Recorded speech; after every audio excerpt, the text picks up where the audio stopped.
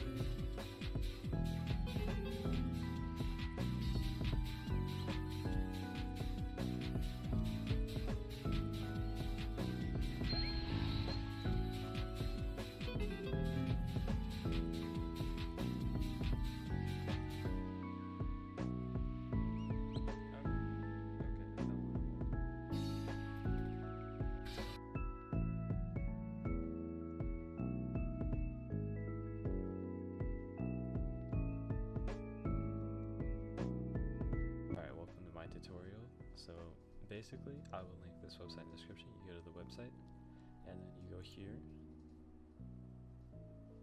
So Pikachu makes sure that if you don't speak Japanese, you want to translate it. Go here. Alright, so you want to press enter now.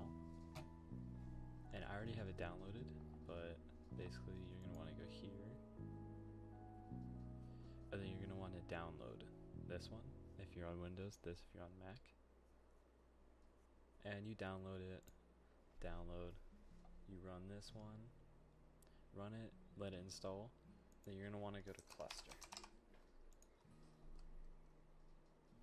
It's going to open up your software if you use Oculus, and it's going to open up SteamVR as well. But most importantly, it's going to open up Cluster. And so you're going to want to make a new account. It's going to bring you to an account screen, and you can pick any avatar you want to do. And once you select avatar, it'll put you in the room. So that's how you do this. Um, it seems to only be available until the until the 31st. Um, right now is the 27th, so I would do this fast if you want to experience this because it's something really awesome. Thank you for watching.